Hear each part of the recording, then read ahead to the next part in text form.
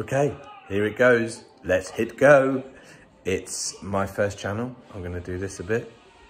Um, my first channel, long time overdue, but on the channel I'm going to cover um, topics ranging, well, all to do with trauma and specifically childhood trauma.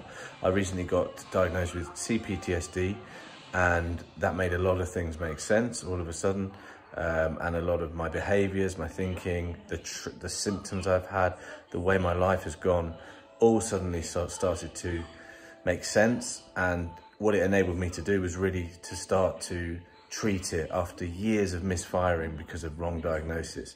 I could suddenly treat this or begin to treat it properly. And I've had some wins. I've definitely had some wins. I've had some missteps too, and I want to share them. And I want you to know that I'm going to be totally honest and frank and that you're not alone and that it's A, hard to get diagnosed and then B, very hard to um, treat, but it's possible. I've made steps forward and I want to share them with you.